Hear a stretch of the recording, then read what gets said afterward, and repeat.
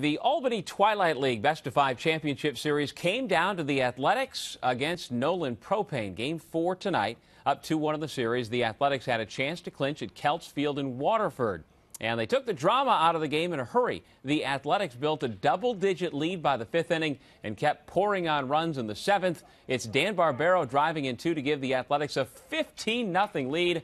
And their pitching was just as good. Albany High grad Pat Landers in complete control complete game shutout. He struck out five.